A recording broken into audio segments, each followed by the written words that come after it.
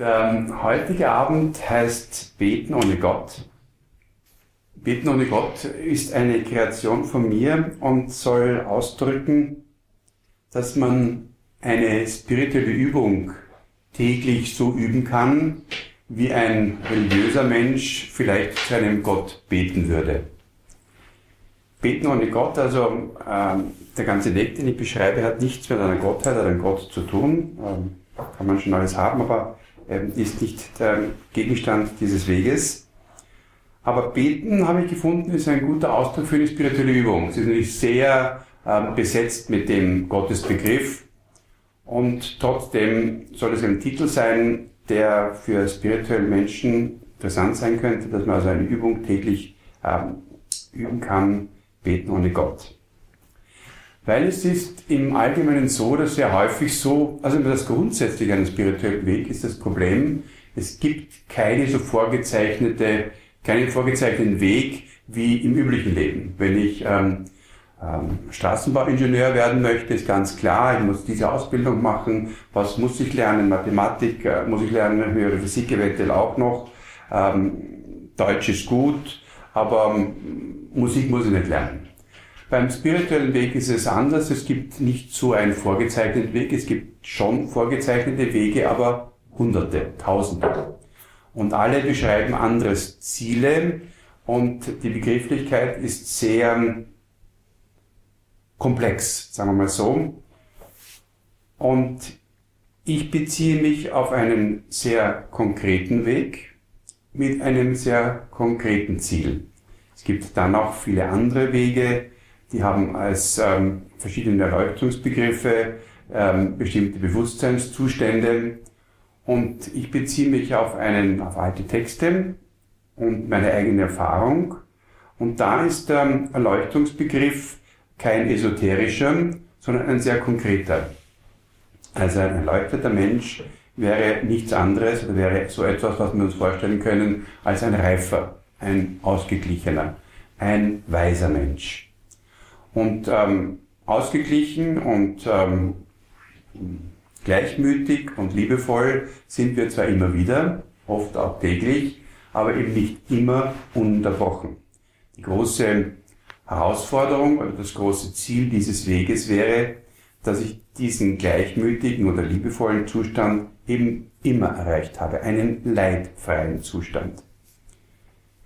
In den alten Texten wird dieser leidfreie Zustand definiert als einer, wo man aus dem Rad der Wiedergeburten, das Rad der Wiedergeburten wird Samsara bezeichnet, das ist kein, nicht zu verwechseln mit dem gleichnamigen Parfum, sondern ähm, das Samsara ist ein, ein unser Leben, wo wir immer wieder die gleichen Probleme, immer die gleichen Muster in die leidhaften Zustände fallen.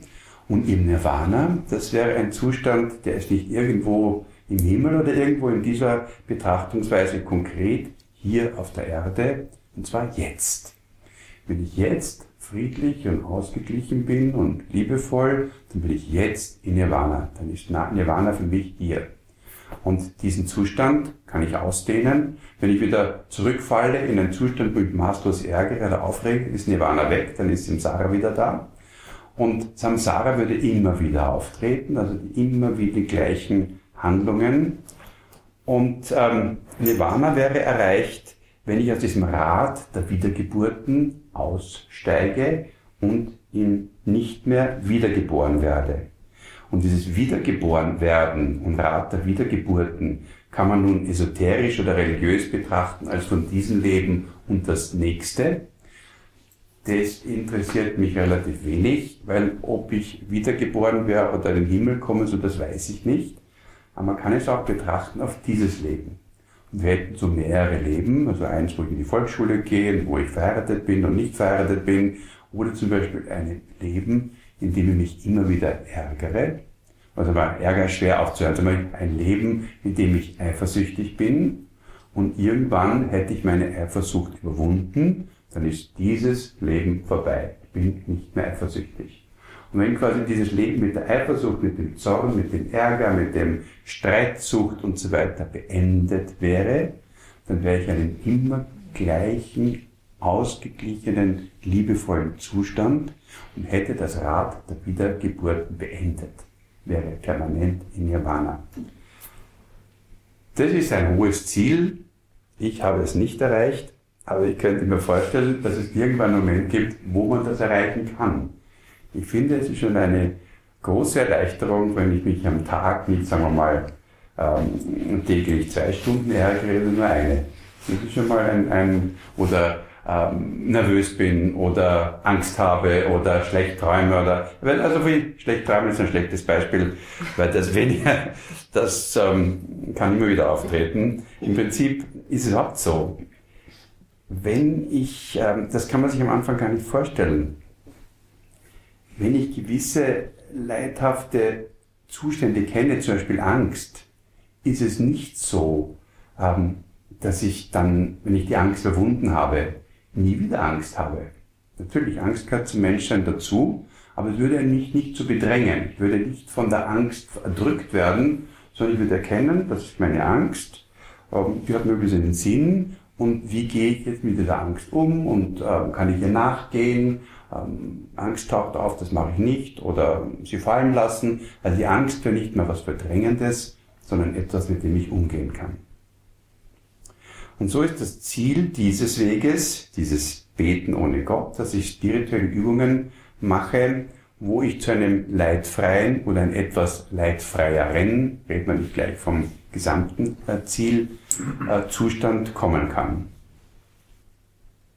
Und das Besondere an diesem Weg ist, dass spezielle Methoden beschrieben werden, und zwar sieben Fähigkeiten, die ich in mir entwickeln kann, um zu diesem leidfreien Zustand zu gelangen. Und so, wenn man etwas beim Lernen, muss man wie bei allen Dingen im Leben unterscheiden zwischen Inhalt und Struktur. Das ist oft gar nicht leicht, wenn ich die Struktur des Menschseins wäre, dass der Mensch grundsätzlich krank werden kann. Und der Inhalt wäre, das ist die Struktur von uns allen. Weil wir Menschen sind, werden wir auch immer wieder krank. Und der Inhalt ist, du bekommst Grippe, du bekommst das, du bekommst das, du bekommst das. Und so kann ich bei allen Dingen einen Inhalt eine Struktur beschreiben. Kann zum Beispiel die Struktur des Geldverdienens durchschaut haben. Dann ist es relativ wurscht, ob ich Schuster bin, Schneider oder Generaldirektor werde ich immer die Fähigkeit haben, Geld zu verdienen. Wenn ich diese Struktur nicht erkannt habe, kann ich einmal mit einer Tätigkeit Geld verdienen, das andere Mal nicht. Also wenn man etwas in der Struktur verstanden hat, ähm, die Struktur des Friedlichseins, die Struktur des Tanzens, irgendetwas, dann ist der Inhalt immer was anderes, aber ich kann eigentlich alles immer wiederum Vielleicht wenn ich ein Rhythmusgefühl habe und mit Musik mich auskenne, ein Körpergefühl, kann ich alle Tänze relativ rasch lernen. Die Struktur und Inhalt. Und so meine ich, ist bei diesem Weg, den ich beschreibe, gibt es eine gewisse Struktur und die ist ähm, gar nicht so schwer zu erkennen und die Inhalte wären dann die Details, mit denen ich umgehen muss und die ich lernen muss. Ich habe gesagt, dieses Weg, Beten ohne Gott, den ich kreiert habe, ist nicht auf meinem äh, Mist allein gewachsen, sondern da gibt es sieben sogenannte Erleuchtungsfaktoren oder Erleuchtungsglieder. Die wurden schon von 2500 Jahren vom Buddha Shakyamuni beschrieben. Und das ist das erste Erleuchtungsglied, die Achtsamkeit. Die Achtsamkeit, von der wir schon gesprochen haben, und es ist im Buddhismus so oder in dieser Übung so, dass die Dinge immer wieder auf unterschiedlichen Stellen vorkommen. Also die Achtsamkeit ist ein zentrales Element, das kommt vor bei den Erleuchtungsgliedern, das kommt vor ähm, in vielen anderen, in dem achtfachen Pfad, in vielen anderen Dingen, immer mit einer anderen Einordnung. Und ähm, die Achtsamkeit ist noch relativ gut umschrieben oder sehr klar definiert. Die Grundlage der Achtsamkeit ich habe schon darüber gesprochen, ist der Körper und dann gibt es äh, vier weitere ähm, geistige Dinge, die ich bei der Achtsamkeit betrachte. Aber andere ähm, Pfadglieder sind also weniger deutlich umschrieben in der Meditation. Wäre dann das fünfte Pfadglied ist es so, dass es hunderte Formen von Meditation gibt. Und man kann mit all diesen arbeiten und vielleicht auch am Weg weiterkommen. Es ist nicht so unbedingt wichtig, eine bestimmte Form ähm, zu leben oder zu lernen. Ähm, grundsätzlich dann aus dem Ganzen ergibt sich erst ähm, die Möglichkeit, zu dem Ziel zu gelangen. Also das erste Grundlage, das erste Erleuchtungsglied wäre die Achtsamkeit. Ich führe sie jetzt hier nicht länger aus, weil wir schon letztes Mal darüber gesprochen haben in Extensor. Aber sie ist deshalb die Grundlage von allem, weil es die Methode der Achtsamkeit ist, mit der ich ganz genau in mich hineinschauen kann. In alles, was ich denke, beabsichtige, fühle, handle. Ohne in mich hineinzuschauen, kann ich mich schlecht ändern, kann ich schlecht mir auf die Schliche kommen. Es ist so, dass es ein Grundübel, ein Grundproblem von uns allen zu sein scheint, dass wir mit den sogenannten dunklen Stellen in uns, den dunklen Flecken, sehr schlecht umgehen können. Diese dunklen Flecken, diese uns unbewussten Stellen im Geist, sind aus einem ganz bestimmten Grund mir unbewusst, weil ich mit diesem Thema ein Problem habe. In irgendeiner Form, wie ich das genau mache, weiß man oder weiß man nicht. Ich verdränge es, ich lasse es nicht an die Oberfläche. Ich lasse gewisse negative oder von der Gesellschaft als negativ oder beschriebene Dinge, und meistens ist es ja auch negativ, nicht hoch. Meinen Ärger, meine Wut, meinen Rassismus, ja. Den verdränge ich. Und solange ich den, mir des Rassismus in mir nicht bewusst bin, natürlich alle anderen Rassisten, aber ich nicht. Und so bin ich der einzige äh, Nicht-Rassist von euch, weil ich habe zwar irgendwie ein bisschen Rassismus, aber ich, ich nicht. Ja. So geht es ganz vielen, ganz vielen Eigenschaften. Ich habe sie nicht, die anderen haben sie. Die anderen sind abzulehnen, haben also jeder kann von uns sehr viel Kritisches über die anderen sagen und ähm, möglicherweise unterschiedlich viel Kritisches über sich selbst. Und je reifer ein Mensch aus meiner Sicht ist und je weiter er mit sich selbst ins Reine gekommen ist, desto mehr Negatives kann er auch über sich selber sagen. Und sagen, auch das ist in mir. Neid ist in mir, Großmannsucht ist in mir, Rassismus ist in mir, äh, Ärger ist in mir, alles Mögliche ist in mir. Also, eine weitere Erkenntnis ist es, wenn man sich dieser Dinge bewusst ist, wird es leichter. Ich brauche nicht mehr so viel Energie und, und Kraft, um das in mir zu unterdrücken. Ich habe sehr viel mehr Energie für mich und mein Sein und mein Leben, ich pausenlos den Deckel auf meine negativen Emotionen halten muss. Ich habe, glaube ich, auch schon letztes Mal irgendwann gesagt, ähm, es beginnt, äh, es, es gibt im Buddhismus den Begriff von heilsam und unheilsam. Und unheilsam ist alles, was mit negativen Dingen verbunden ist, mit Neid, Ärger, Wut, Gier, den, auch mit den christlichen sieben Todsünden. Und heilsam ist alles, was mit Freundschaft, Großzügigkeit, Gelassenheit und Liebe verbunden ist. Es gilt also, das Heilsame in sich zu entwickeln und das Unheilsame nicht zu unterdrücken, sondern loszulassen. Der zweite Punkt, das zweite Pfadglied nach der Achtsamkeit ist die Willenskraft, die Anstrengung. Sieht man schon, also ganz leicht ist es möglicherweise nicht. Ich muss für alles im Leben was ich lerne, muss ich mich am Anfang bemühen und mich anstrengen. Am Anfang, wenn ich Roller fahren lerne oder tanzen oder reden oder sauber werden oder was immer ich tue, muss ich mich bemühen. Irgendwann ist es relativ leicht, Rad zu fahren, sauber zu sein, zu tanzen oder irgendetwas. Also irgendwann wird die richtige Anstrengung zu einer anstrengungslosen Anstrengung. Sie ist ganz leicht. Diese Form der Anstrengung ist äh, zusätzlich eine spezielle, dass ich nicht nur etwas lerne, anstrenge, um meditieren zu lernen, anstrenge, um ähm, achtsam zu sein oder anstrenge, um die Lebenstatsachen, die Lebenszusammenhänge zu lernen, sondern eine ganz bestimmte Form der Anstrengung, dass ich Heilsames, das schon erwähnt, in mir entwickle, Unheilsames in mir fallen lasse. Also ein Ärger, sehr unheilsam, der noch nicht entstanden ist, ihn gar nicht entstehen lasse. Wenn er entstanden ist, lasse ich ihn fallen und das Heilsame, Liebe, Großzügigkeit, Gelassenheit, die noch nicht da ist, versuche ich zu entwickeln und wenn sie da ist, versuche ich zu halten. Das ist eine der großen Übungen, die man, wenn man Beten nach Gott übt, wenn man sich übt, täglich üben kann.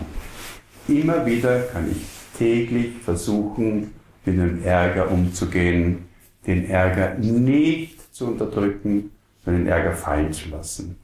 Meinen Wut, meine, meine immer wieder gleichen Handlungen nicht zu unterdrücken, sind, sind sie zu erkennen und mit ihnen eine neue Umgangsform zu finden. Dafür brauche ich Bewusstheit und Achtsamkeit, die Anstrengung.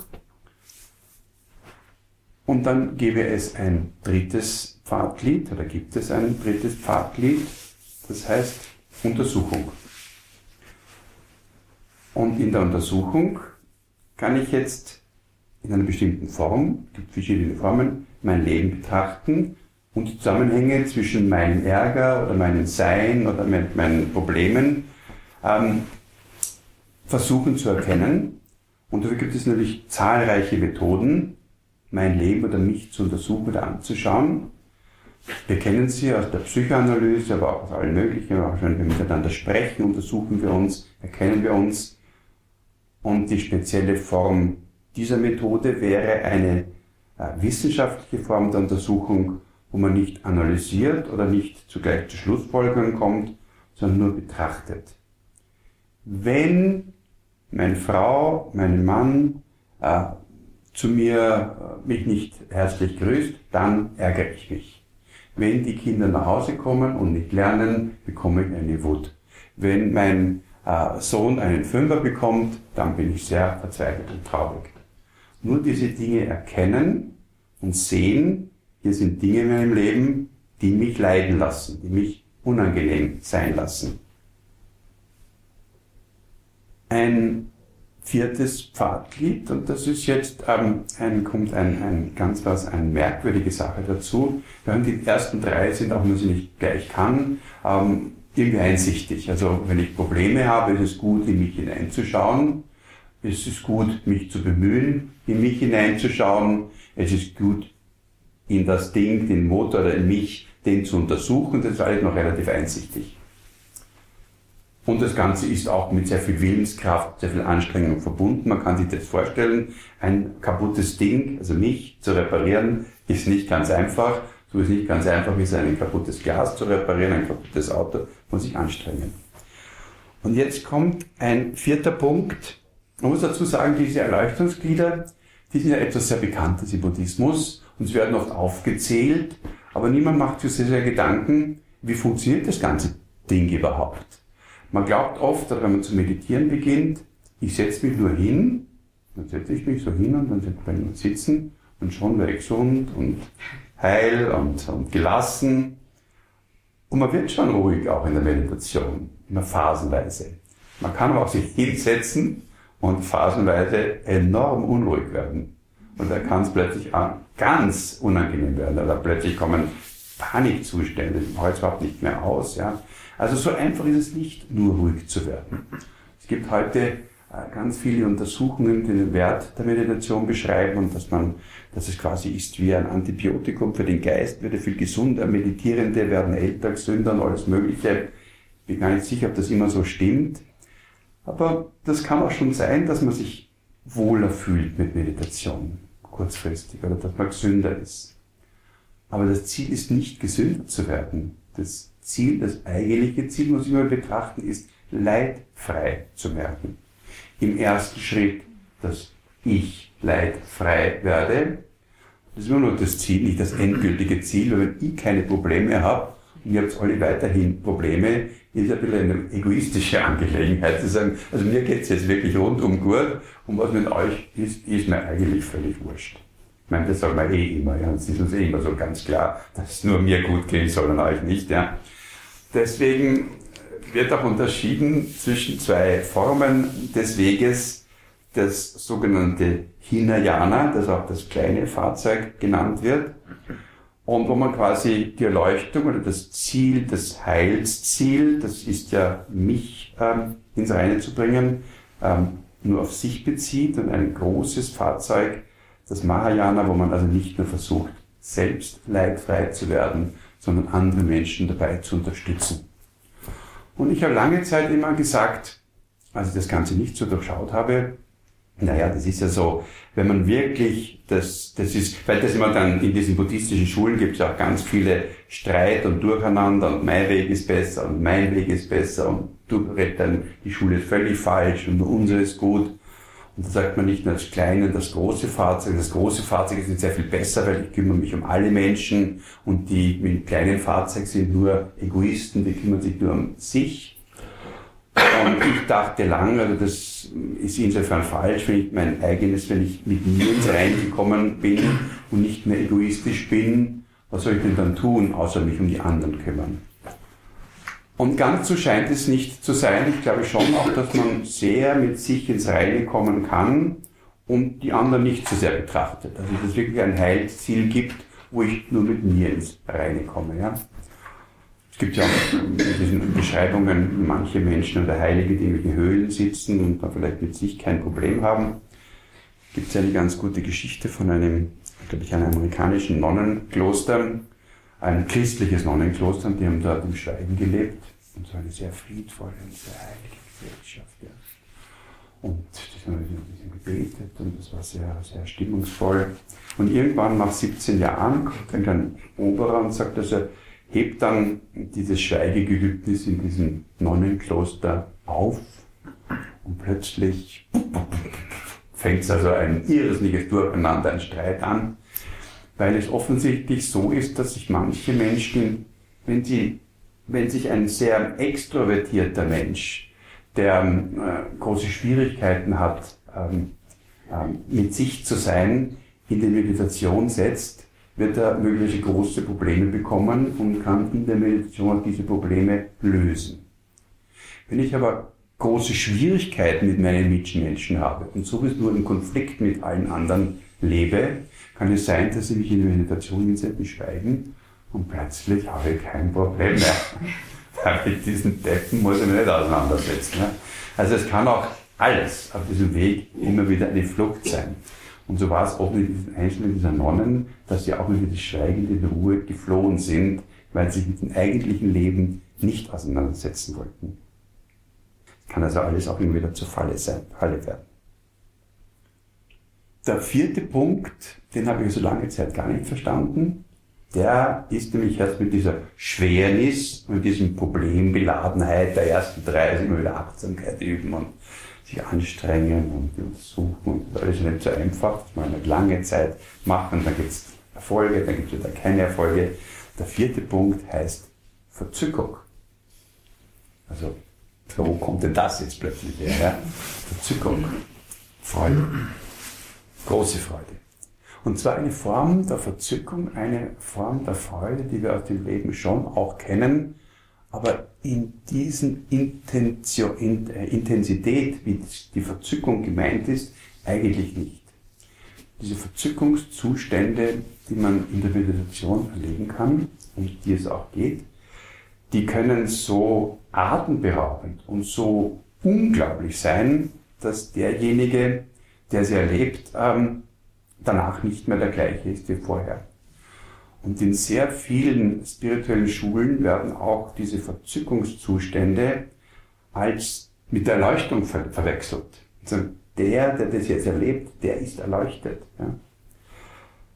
Das sind schon Erleuchtungsmomente, aber es sind nicht die Erleuchtung, Erleuchtung oder quasi ein erleuchtetes Leben.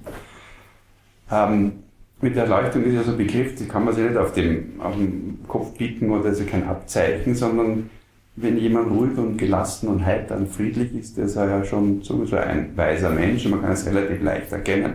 Wenn sie ärgert, ist es eindeutig nicht weise.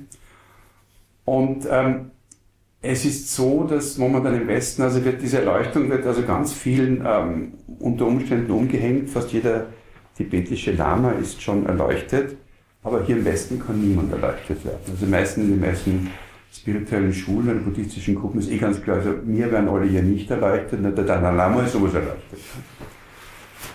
Ich bin nicht so sicher, es ist auch relativ wurscht, ob der Dalai Lama oder irgendein Lama erleuchtet ist, sondern die Frage ist ja, kann ich das Ziel erreichen?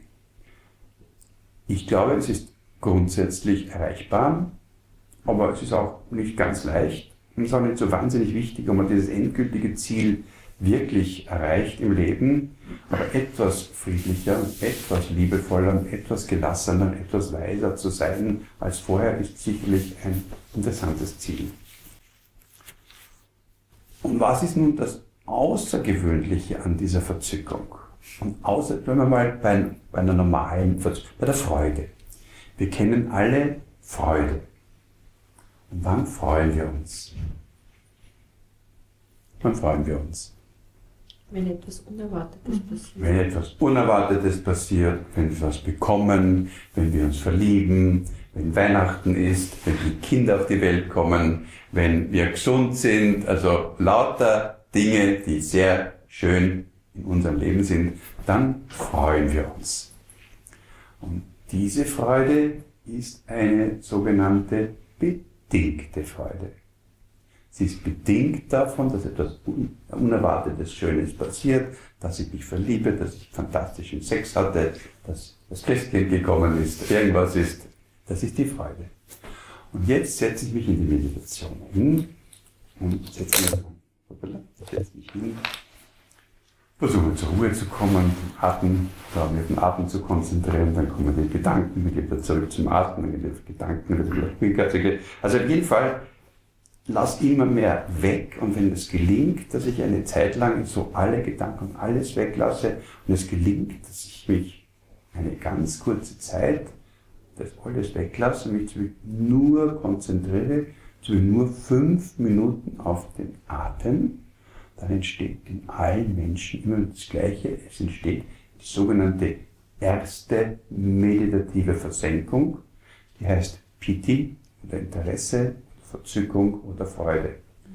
Und diese Freude ist keine bedingte, sondern eine unbedingte Freude. Sie tritt einfach auf, weil ich alles weglasse. Jetzt kann man fragen, bitte wieso? Ist eigentlich wurscht wieso. Weil wir Menschen sind, weil wir diesen Geist haben, haben wir offensichtlich die Fähigkeit, wenn wir nicht mehr denken, wenn wir nicht mehr denken, wieso hast du die grauen Pullover an und wieso bist denn du, wieso passt denn, und wieso bist denn du eine Negerin und wieso ist denn du einen, einen Kopftuch auf oder wieso ist denn das oder die Kinder sind so schlimm. Wenn wir all das viele weglassen, wenn wir uns nur auf eine Sache im Geist konzentrieren, dann scheint offensichtlich Freude aufzukommen. Und das kennt jeder von uns.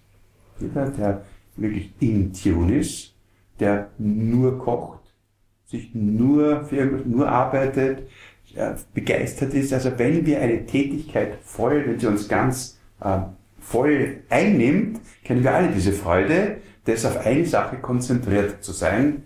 Und Sportler kennen sie besonders gut, denn im Sport ist es auch sehr, sehr gut beschrieben. Es nennt man der Flow, ein Sportler, der in den Flow kommt, ein Marathonläufer, der im Flow ist, plötzlich rennt er. Er kann Kraft ohne Ende, er rennt ununterbrochen. Er denkt dann nicht mehr, ob er gewinnen wird oder ob es regnet oder ob es kalt ist. Er ist im Fluss.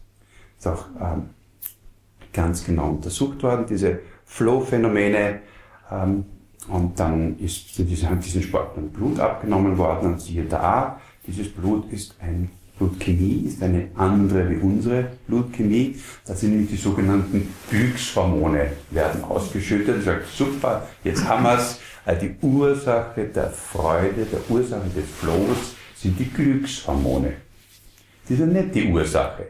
Die sind nur, die braucht man, um diese Freude zu empfinden, weil alles, was wir geistig erleben, hat einen materiellen Hintergrund. Wir können nicht denken im Geist, sondern jeder Gedanke ist ein materieller Prozess in mir, im Kopf nämlich, der auch nachge nachgemessen werden kann.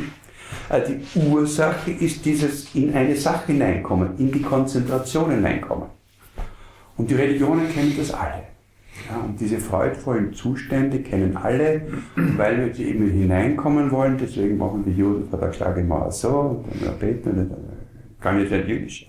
Und die Muslime tun sich niederwerfen, niederwerfen. Und die Buddhisten sitzen eventuell so oder sagen ein Mantra und, äh, und kommen diese einspitzige, so nennt man das, Konzentration, es kommen diese freudvollen Zustände.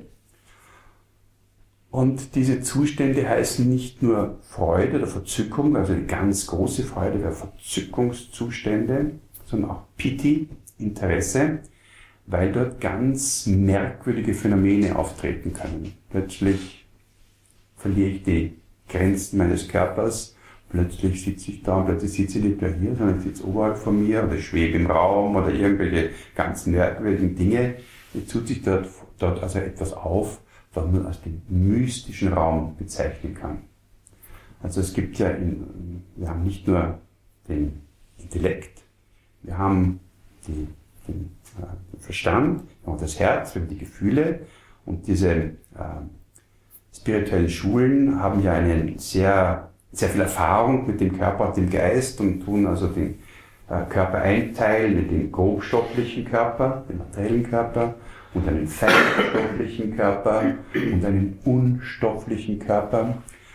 Das gehört alles auch Entsprechungen in, unserem, in unserer modernen Wissenschaft. Unter Umständen der grobstoffliche Körper ist klar und dann gibt es eben dahinter einen Emotionalkörper oder einen geistigen Körper. Und dann gibt es etwas Unstoffliches, es gibt eben geistige Zustände, die im Prinzip mit dem Körper nichts zu tun haben und der mystische Raum wäre einer, wo ich plötzlich den Raum ganz anders wahrnehme, wo sich meine Sinneswahrnehmungen ändern können, die akustischen Wahrnehmungen ändern können. Und wird sehr viel diese Zustände, diese gewissen Bewusstseinszustände mit Erleuchtung selbst verwechselt.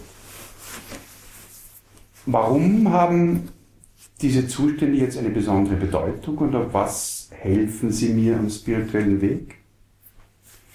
Einmal sehr pragmatisch. Es ist so, dass wir ja immer wiederum große Probleme haben und mit leidvollen Zuständen konfrontiert sind, sogar wenn es uns gut geht. Ähm, zack, ein Autounfall, eine Scheidung, einen Verlust. Also ununterbrochen sind wir auch mit sehr schmerzhaften Zuständen verbunden. Und das kann so sein, dass die so groß sind, dass man also quasi aus dieser Trauer, aus dem Schmerz, aus der Verzweiflung, aus der Wut gar nicht herauskommt. Und ist schon eine Hilfe, wenn man es gelernt hat, einmal kurz zur Ruhe zu kommen und in sich diesen Ruhepunkt herzustellen oder diese Härteversenkung und einmal kurz wieder zur Ruhe oder zur Freude zu kommen, zu einer unbedingten Freude, ist schon mal sehr hilfreich. Aber zusätzlich dürften noch ganz viel, viel andere, also Phänomene und ähm, zu, äh, sich im Kopf abspielen. Es ist so, dass man wirklich meditierend ersucht hat und die Denkvorgänge und die Denkbahnen so ähm, werden andere. Also der Mensch ist dann, es gelingt viel leichter, ruhig zu sein, achtsam zu sein, konzentriert zu sein. Es wie wenn sich das auch materiell verändern würde. Also diese Verzückungszustände sind ein Phänomen und werden in der sogenannten ersten meditativen Versenkung ähm, erfahren. Und von dort, erste meditative Versenkung, sagt schon, dürfte andere auch noch geben. Es wird im Allgemeinen in spirituellen Schulen über diese meditativen Versenkungen, Versenkungen kaum gesprochen. Der einzige, der sie, glaube ich, explizit beschrieben hat, ist der Buddha Shakyamuni. Und es gibt im, immer wieder mal einzelne Schulen, ähm, die sich mit diesen Versenkungen in Extenso beschäftigt haben. Ich hatte eine Lehrerin, eine deutsche Nonne, die Ayakema, die verstorben ist, die das sehr, sehr ähm, intensiv gelehrt hat und ähm, bei der ich auch gewesen bin. Und ähm, Das war eine sehr paradoxe Methode, weil es kann zwar mit Anstrengung ähm, kochen lernen oder eine Rechenaufgabe üben, aber es ist wahnsinnig schwer, äh, bewusst oder mit dem Willen in diese erste meditative Versenkung einzutreten. Ja? Sie entsteht nämlich erst dann, wenn ich aufhöre, dorthin zu wollen, wenn ich aufhöre, mich bemühen zu müssen, da hineinzukommen. Ihre Anweisung war aber, du gehst jetzt in dort hinein. Also eine paradoxe Anweisung in etwas mit willentlich, mit Bemühen hineinzugehen, wo mit Willen und Bemühen gar nicht hineinkommt. Ich bin dort immer gesessen und, und ich war ruhiger geworden, Freude. Und dann hat man so alle zwei Tage eine, ein Gespräch mit ihr gehabt, zehn Minuten. Also ich hatte die seltene Gabe oder seltene Vergnügen, bin ich jeden Tag, äh, jeden zweiten Tag zehn Minuten zu ihr gekommen, eine halbe Stunde, und dort hat sie mich fertig gemacht. Ja? Also, also was immer ich erzähle, meine Erlebnisse, meine Zustände erzähle, alles mal falsch ja, und üben weiter, üben weiter, üben weiter, üben weiter. Immer weiter üben, weiter üben. Ich bin immer ruhiger geworden, kam was ganz ruhig, so immer durchgegangen, alles wieder weg. Also, und irgendwann ist dann doch gelungen und irgendwann habe ich das beschrieben und dann hat irgendwie gesagt, okay, also da machst du jetzt weiter. Und dann ist ein erstes Mal das aufgetreten und dann sagt also, wenn man das ein erstes Mal lernt, man kommt am Anfang, ähm, auch weil wir Menschen sind, weil wir diesen bestimmten Geist haben, immer, wenn man sich konzentriert, bei all diesen spirituellen Schulen, Verbeugen, Mantren sagen und so weiter, in die erste meditative Versenkung, das ist wie ein Haus, ähm, wo man das mal nicht den ersten Stock betreten kann, sondern nur im Eingangstor, in das Vorzimmer. Und danach kommt die zweite, und danach kommt die dritte, und danach kommt die vierte, solange man das übt. Und man soll sich also bemühen, den Eintritt in die erste, sich nachher zu überlegen, na, was ist denn da gewesen? Wie komme ich wieder dorthin? Also wieder diesen Schlüssel versuchen, dieses Schloss, das man einmal mehr oder weniger zufällig irgendwann geöffnet hat, wieder auf die gleiche Art und Weise zu öffnen. Wo dort kann ich dann gelingen, in die zweite, die dritte zu kommen. Das will ich jetzt hier gar nicht weiter ausführen, das ist eine schon weitergehende Übung. Und die vierte, das ist ein völlig gedankenfreier Zustand. Aber es gelingt, das immer wieder auf die gleiche Art und Weise hineinzukommen. Und wenn ihm das nicht, es kann auch sein, dass man versehentlich quasi nicht in die erste Versenkung katapultiert wird, sondern plötzlich die dritte oder die fünfte oder irgendwas. Das kann auch bei Drogen passieren. Drogen haben oft manche Drogen, LSD, also auch die Fähigkeiten, solche Zustände. Das ist ja alles Chemie im Kopf. Alles Dinge, zu denen jeder Geist äh, fähig ist und hat nichts anderes als der, der, das Hirn ist wie ein Computer. Und wenn er anders gefüttert wird, dann fühlt er sich wohl. Wenn da Glückshormone ausgeschüttet werden, dann hat er Glück und wenn ein Stresshormon auf, ausgeschüttet wird, dann hat er Stress, aber die Ursache ist nicht der, der, das Stresshormon, das wird ja ausgeschüttet durch ein Männchen in meinem Kopf, das auf den Stressknopf drückt oder das Glückshormonknopf drückt. Und werden diese Dinge in mir ausgeschüttet. Aber wie mache ich denn das? Ja, also man könnte jetzt noch, dann geht's also die, ähm, ja, wollte noch sagen, und wenn ich es versehentlich durch die Meditation in eine andere Stufe hineinkomme, kann das auch sehr unangenehm sein. Also quasi wie ein, wie ein falscher Weg. Deswegen ist es gut so, also da langsam durchzugehen. Ähm, die ersten vier meditativen Senkungen wurden als heilsam oder als wichtig für diesen Weg beschrieben. Die anderen werden dann als yogische Zustände bezeichnet, ähm, sehr so bizarre äh, Zustände. Bei den ersten Vieren gibt es noch den Beobachter in mir, den ihr vielleicht alle kennt, wenn ihr euch den hinsetzt und die Augen schließt, merkt, da gibt es einen Beobachter, der mich beobachtet. Also mein Geist beobachtet meinen Geist. Und irgendwann kommt mir dieser Beobachter dann auch abhanden. Und dann kommt noch das Beobachtete, Beobachtete abhanden, und obwohl es keine Beobachter gibt, nichts Beobachtetes gibt, ist doch nicht nichts. Also alles sehr ähm, fast unbeschreibbar.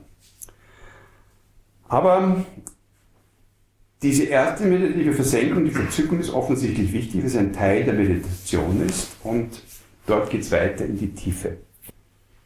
Die fünfte ähm, die fünfte, das fünfte Erleuchtungsglied ist dann die Meditation. Da gibt es, habe ich gesagt, ganz viele verschiedene ähm, Formen der Meditation, Ruhemeditation, Einsichtsmeditation, das wiederum Inhalt und Struktur. Kann man mit ganz verschiedenen Meditationsformen kann man hier üben. Und wenn man jetzt diese ersten fünf übt, ist es eine, dann wird es irgendwann ruhiger. Und man merkt schon, es wird hier nicht ruhiger, so wie es auch nicht so ist, dass man wie ein, wenn ich nach äh, St. Pölten komme und nach Linz, dann komme ich automatisch irgendwann nach Innsbruck. So ist es nicht. Auch nicht, in der, wenn die erste Schulklasse mache, die zweite und dritte und die achte dann irgendwann Matura. Sondern man braucht da gar nicht meditieren, auch das alles gar nicht machen. Ein ruhiger, ausgeglichener Mensch kann man immer werden. Es ist nicht so, dass die nächste Stufe dann die Erleuchtung wäre. Und ähm, also es ist nicht ein automatisches irgendwo hinbekommen, aber es ist schon so, wenn ich diese Dinge immer wieder übe, die Untersuchung mit Anstrengung und Willenskraft ähm, mich übe, werde ich sehen, dass ähm, durch diese Anstrengung und das Hinschauen auf gewissen Lebensprobleme, zum Beispiel sagen wir auf meine Eifersucht, wenn ich richtig hinschaue und drauf komme, ah, die Eifersucht, die hat ja gar nichts mit meinem Frau, Freund, irgendwas zu tun, die kommt ja aus mir. Und die kommt aus mir, weil. Und plötzlich erkenne ich Zusammenhänge und plötzlich kann ich diese Eifersucht völlig simpel fallen lassen, was sie bringt Sie macht auch nichts besser. Und der ist wieder mehr treu oder untreu, im Gegenteil, macht nur Unruhe mit dem ganzen Ding. Irgendwann ist es ganz leicht, diese Dinge wegzulassen. Und sobald ich irgendeinen Punkt in meinem Leben weglasse, entsteht mehr Energie. Und so wie macht also die Anstrengung lässt Energie entstehen. Mit der Energie kann ich mich besser anstrengen. Mit der besseren Anstrengung kann ich besser untersuchen. Durch die Untersuchung kann ich besser erkennen. Durch das besser erkennen kann ich besser loslassen. Durch das besser loslassen kann ich mehr Energie haben, wenn es nur so einfach wäre. Es ist nicht so einfach, und irgendwann alles erleichtert, sondern immer wieder kann man dazwischen auch abstürzen, ähm, alte Fehler wiederholen, in ganz schrecklich dunkle ähm, äh, Löcher hineinfallen. Das sage ich nicht, um euch davon abzuschrecken, sondern weil das Leben immer so ist. Und es gibt, glaube ich, sehr schwer. Ich übe mich schon seit 30 Jahren und so der ewig heitere, ausgeglichene, lustige Jack bin ich auch nicht, ja. Immer wieder kommen neue Dinge, mit denen man nicht gerechnet hat, Krankheiten, schwierige Lebenssituationen, ähm, äh, Verluste, immer wieder neu schwer zu betrachten sind. Und wenn man dann alles gelöst hat und plötzlich kommt die Diagnose Krebs, ist auch das wieder schwierig. Also ganz einfach ist es nicht. Aber trotz allem kommt dann noch ähm, nach diesem Prozess, den man also lange sich übt und so, käme dann das sechste Erleuchtungsglied und das ist die Gelassenheit. Und jetzt kommt, sage ich gleich, das siebte dazu, das ist der Gleichmut. Ich habe lange Zeit gedacht, das ist also so fünf sehr wichtige und sehr unterschiedliche, also die Anstrengung hat mit der Verzückung nichts zu tun und obwohl durch die Anstrengung entsteht die Verzückung und so weiter, was, wieso tue ich das quasi zwei ähm, Erleuchtungen quasi vergeuden, dass das Gleiche ist. Also ich habe zwischen Gelassenheit und Gleichmut überhaupt nicht unterscheiden können. Ja.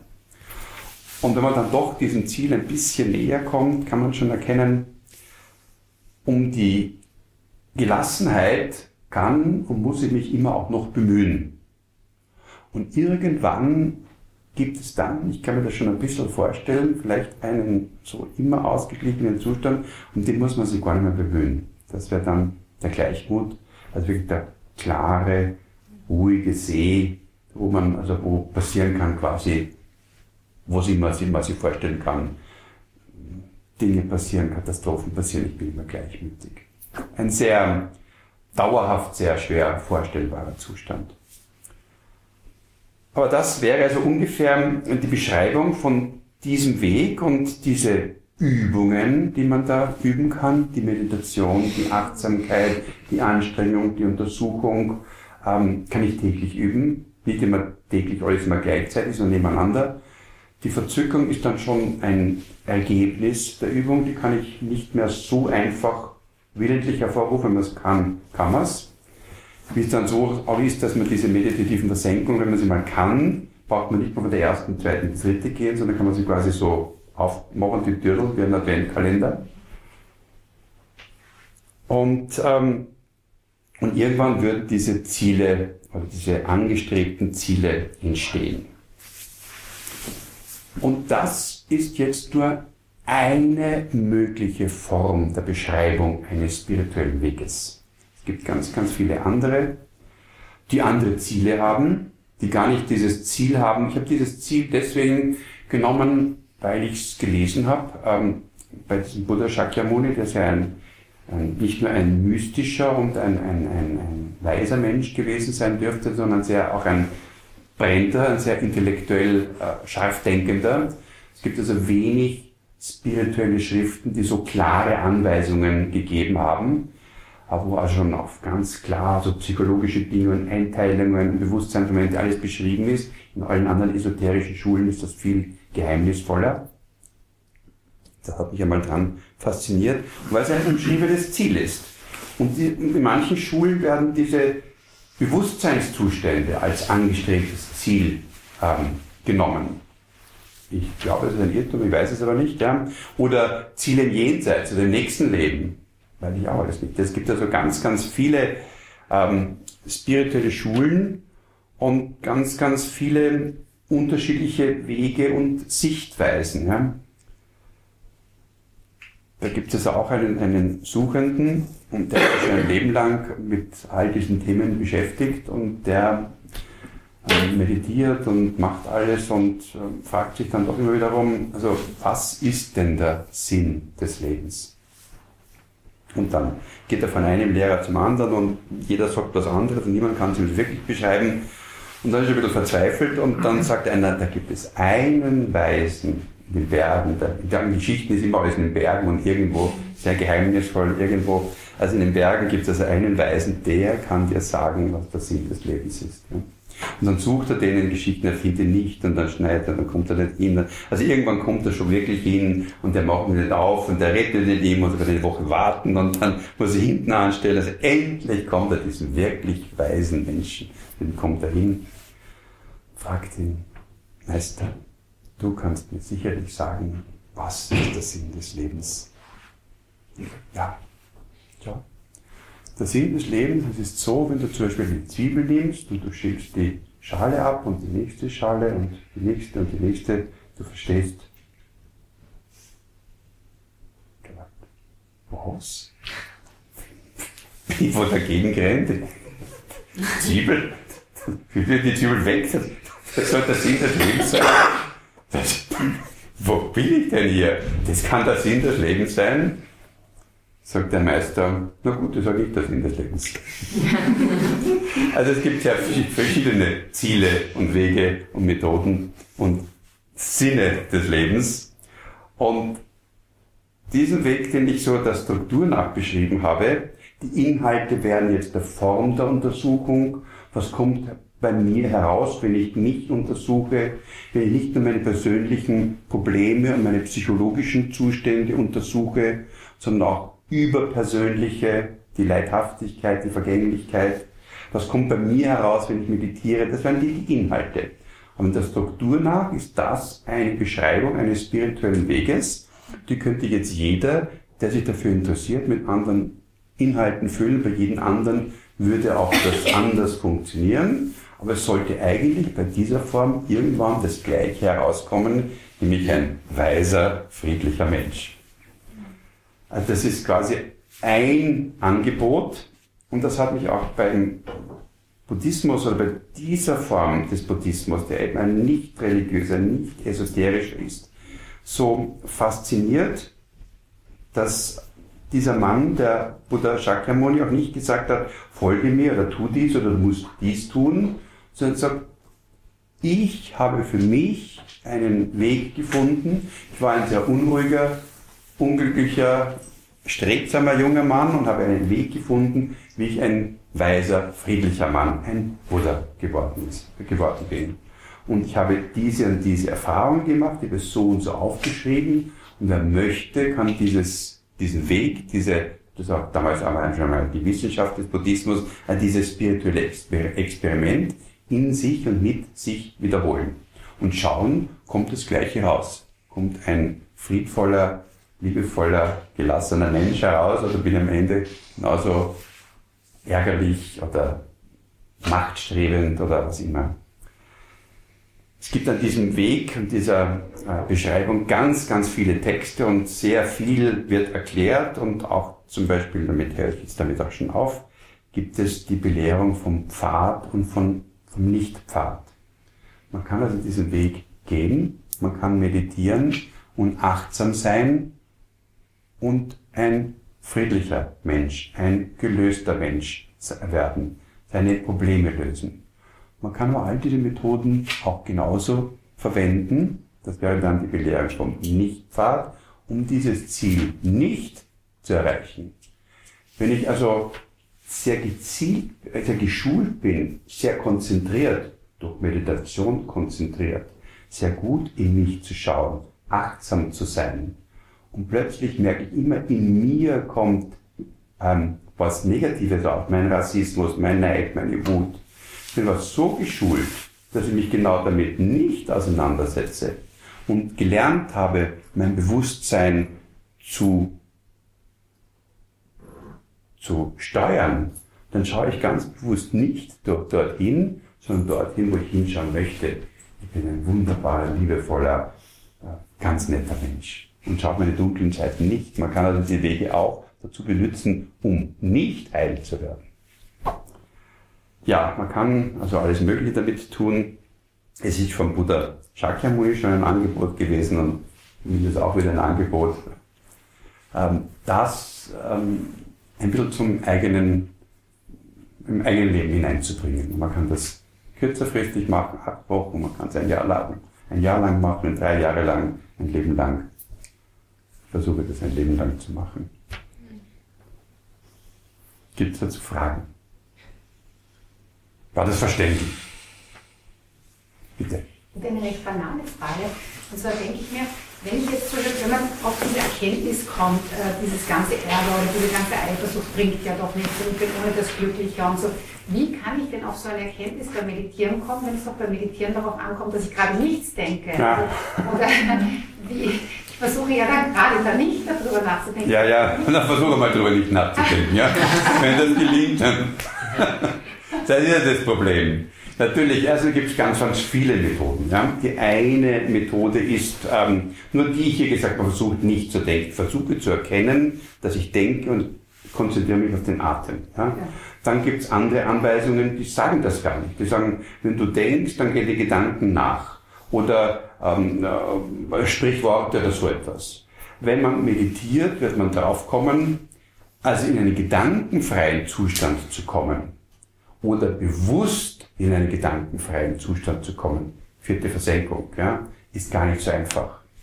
Und auf dem Weg dorthin, von dem vielen, diesem Wahnsinn, der sich da oben abspielt, ja, zu diesem Weg, vierte Versenkung, Stille im Geist, ja, auf dem Weg entsteht das alles. Diese Heilungen, diese Erkenntnisse, diese Verirrungen, diese, was alles, das ist ein langer Weg, ja. Und deswegen kann man auch sagen, der Weg ist das Ziel, weil auf diesem Weg dann, und man kann auch sagen, das Ziel ist das Ziel. Ja? Also von erster Stunde gesagt, von A nach A oder von A nach B. Ja? Und deswegen, es geht nicht darum, nicht zu denken. Das ist nicht das Ziel. Das kann das Ziel sein, wenn mich das eigene Denken vier in der Früh so belastet, da denke ich, muss morgen was arbeiten, jetzt über diese Sorgen nachzudenken und ich die Möglichkeit gefunden habe, mir den Denkknopf umzulegen, ist das was sehr Angenehmes. Aber die Belehrung vom Nicht-Pfad, wenn ich immer umlege, um mich mit einem Problem nicht auseinanderzusetzen, dann bin ich im Holzweg. Es geht, es ist paradox, es ist wie das Kamel durch das Nadelöhr, das berühmte, ja. Es ist ein paradoxer Weg, der hat nicht das Ziel zu denken, nicht zu denken, heilig zu sein oder Ding zu sein. Dieser Weg hat das Ziel, leidfrei zu werden. Und das kann ich, also das ist ja eine lange Geschichte, also im Prinzip mal das, bleiben wir mal zu. Vielen Dank. Noch Fragen? Ja, wir haben mal gesagt beim Dalai Lama, dass, dass ähm, wir eben, wenn wir den Ärger erkennen und uns nicht hineinziehen lassen und immer mehr darüber nachdenken und es wachsen lassen, sondern ähm, praktisch auf ein, ein positives Ereignis uns konzentrieren und dem Raum geben. Ist das jetzt ein Verdrängen oder ist es einfach ein Erkennen des Ärgers und um mich konzentrieren auf die positive Seite? Das ist das Problem bei dem Ganzen. Wir können jetzt stundenlang, tagelang darüber reden, wie man im Tiefschnee wedelt. Und das hat mit dem Wedeln gar nichts zu tun.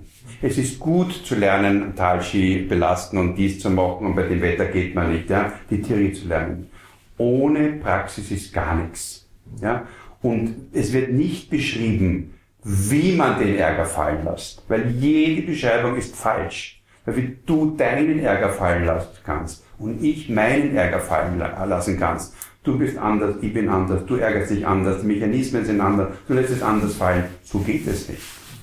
Es ist dies ein Weg zur Selbsterkenntnis. Wie kannst du herausfinden, was du wirklich willst, was du wirklich hin willst? Willst du den Ärger fallen lassen? Also der, der Lama ärgert sich ununterbrochen. Wenn man mit ihm diskutiert oder mit ihm Fragen gestellt, ist sowas für mich geärgert, mich geärgert, weil ich tausend die falschen Fragen gestellt habe. Ja. Also, und ich glaube, er ist ein sehr weiser Mann. Ich glaube auch nicht, dass er es ihm ärgert, wird dann ihm vorgeworfen, dass er sich impulsiv ärgert. Der hat einfach mir deutlich gezeigt, auch anderen, das passt jetzt nicht. Ja. Der Mensch, der sich nicht mehr ärgern muss, der sich nicht mehr automatisch ärgert, kann sich ruhig ärgern. Warum soll ich den meinen Kindern, auch wenn ich so weit wäre, dass ich den Ärger nicht mehr, dass mich nicht der Ärger mal automatisch entsteht, dann sage ich den Kindern, also lasst es jetzt endlich. Weil sonst hören wir nicht zu. Ja. Also man kann auch sich ärgern unter Umständen, ohne sich mit diesem Ärger zu identifizieren. Darauf kommt es nämlich an. Und die Wahlfreiheit haben. Sage ich denen, lasst es jetzt endlich? Oder, na, ich sage das nicht, das bringt eh nichts. Also, das ist eine Gratwanderung. Noch Fragen? Welche Bedeutung hat das, wird irgendeine Bedeutung dem Sterben gegeben? Weil das ist wiederum, äh, wie, wie, ähm, wie betrachte ich den Buddhismus, wenn wir vom Buddhismus ja, reden. Ja. Also in der klassischen Betrachtungsweise ist ähm, der, das Sterben nur die nächste Wandlung. So wie in unserem Leben, ununterbrochen wandeln und nichts geht verloren, wandle ich mich noch einmal. Und dann lässt sich darüber äh, diskutieren, also der Körper zerfällt mit hundertprozentig, aber das, alle Teile des Körpers sind nachher, nachher noch da, nur in einer anderen Form. Und wie ist es mit anderen Dingen? Also mein Ärger bleibt ja irgendwo, das weiß ich eigentlich nicht, aber geht das Bewusstsein weiter? Es gibt ja sehr viele Diskussionen, was danach ist. Ja. Können wir uns lang auch darüber unterhalten. Eigentlich finde ich jetzt keine Bedeutung. Und der Buddha selbst hat auch gesagt, das verwirrt noch. Also sich mit den Themen zu beschäftigen, von denen man eh nie herausfinden kann, ob sie stimmen oder nicht stimmen, hat es keinen Sinn, sich zu beschäftigen. Wenn man sehr lang meditiert und sehr in die Tiefe geht, ergeben sich diese Dinge ziemlich von alleine. Noch eine Frage? Alle sind erleuchtet. Wer ist nicht erleuchtet? Wer strebt von euch Erleuchtung an? Eins, zwei. Das ist ja nicht viel. also, wer es nicht anstrebt, der wird es nicht erreichen. wer es das anstrebt, vielleicht auch nicht. wer nicht sucht, findet nichts. Wer sucht, findet auch nichts.